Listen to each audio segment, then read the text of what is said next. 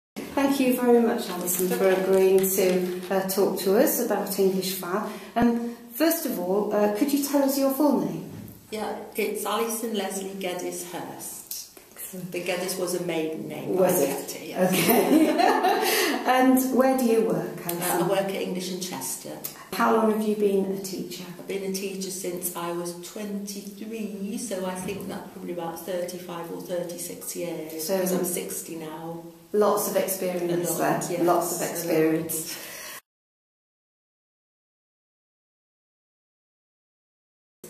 So which skill do your students need most support with? Well, it depends on the nationality, it uh-huh. depends on the level. Yeah. Obviously, it varies tremendously. Um, a lot of the ones with um, with different script need a lot of help with that. Also, that sort of influences the pronunciation because mm. they're making errors in the writing pronunciation. So Um, I think they need help with everything. Uh, often the writing is overlooked yeah. to the detriment of other things, and yeah. obviously receptive skills they have at a higher level than the productive skills. Um, the lower levels really need help with everything, and as we get higher, you need to focus on different things. Yeah. And if they're living in the country, then listening and speaking have got to be the primary importance. Mm. If they want to go to university, pronunciation perhaps less so, depending mm. on what they're going to study. Yeah, so. absolutely. Every student's different yeah, then, virtually, yeah.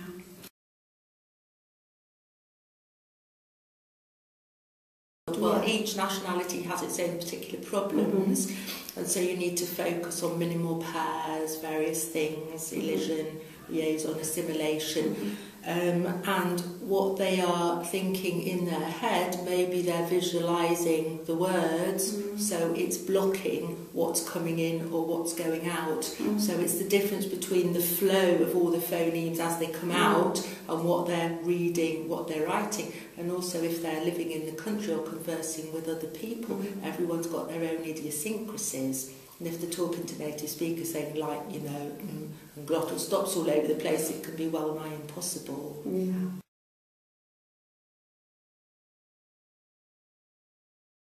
How does English file help you, do you think, with, um, with this skill? Well, I particularly like its little pictures and mm. the words. It, that is so helpful to students because a lot of them have only been presented with a standard chart which does not have the little picture of the bird or the egg in the egg cup. And for a lot of them, they go, oh, and it's a way in. It's a way in. Um, and I like the way it focuses on a particular sound in, in bite-sized chunks really yeah. so it's, it's extremely helpful in that way I mean all the books do it to a certain extent but I like the way it has used its own special version of the phonemic chart yes. to help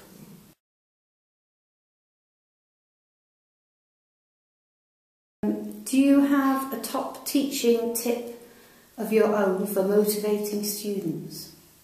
I think the main thing, top tip all the time, always smile and always be patient and always be encouraging whatever happens and mm. however long it takes because as soon as any negative vibes come that's going to put people off so I think optimism encouragement and smiling and patience those are the keys yeah. So what's your top tip for getting students to speak in the classroom? Because often it's quite difficult, isn't it? Well, some of the some of the shyer students, or perhaps not necessarily the less able, because the less able are sometimes the most vociferous, aren't they? Um, put them in pairs so they're not feeling vulnerable. I think that's the top tip. Try and try and make them feel in a in a caring, safe environment and also made them realize that you cannot learn if you don't make mistakes. You learn by making mistakes, mm-hmm. and mm. every time we make a mistake, we learn something. That's how we learn. our mother tongue.